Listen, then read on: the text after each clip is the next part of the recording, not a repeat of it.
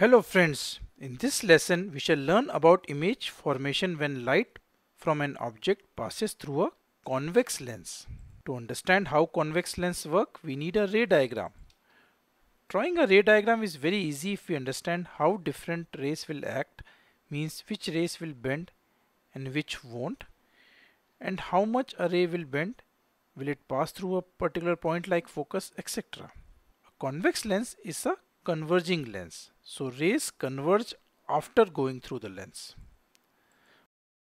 While drawing the ray diagram, we need to be careful about few points. Optical center O, center of curvature C and the focal point F.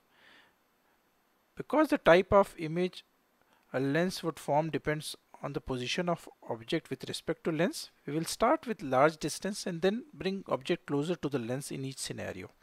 Let us take some examples. The object is placed at infinity, that is at a large distance from the lens. Draw multiple lines parallel to the principal axis and they will pass through the focus after passing through the lens. Why parallel to principal axis? Because object is at infinity. So in this case we get a real inverted highly diminished image like a point on the other side of the lens at focal point f2. Now let us place the object beyond point C1 but not as far as the previous case. So in this case draw a line from the top of the object parallel to principal axis and it will deviate and pass through the focus. Draw another line from the top of the object going through the optical center O and it won't deviate. It will pass as is.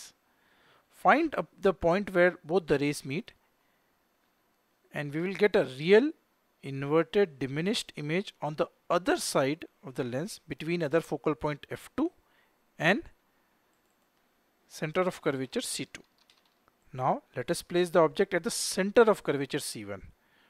Draw a ray from tip A of the object passing through the optical center. It won't deviate and another ray from point A which is parallel to principal axis and it bends after refraction and it passes through the focal point F2 after refraction. So the two rays meet at point A dash. A dash is the image of the point A. Here we get a real inverted image of the same size on the other center of curvature C2.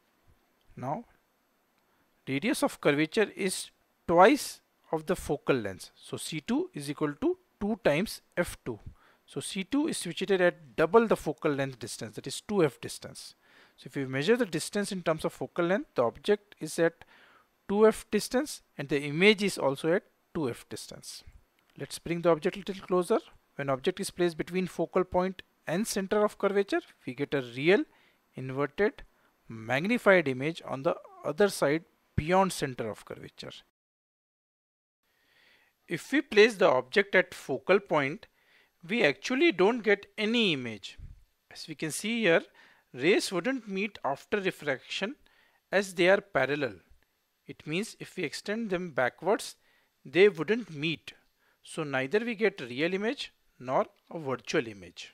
So as we are bringing the object from infinity closer to the lens, the size of the real image formed on the other side of the lens is increasing, right? But if we place the object between focal point and O, we get a virtual image which is erect and a magnified image. So you can see here the rays are coming from the tip A moving after the refraction but here we don't get a real image. We need to extend the ray backwards and we get a magnified virtual image. That's why we hold magnifying lens closer to the object to get a magnified virtual image. So this is how the table looks like for the convex lens depending upon where the object is. That's all for now. Bye bye.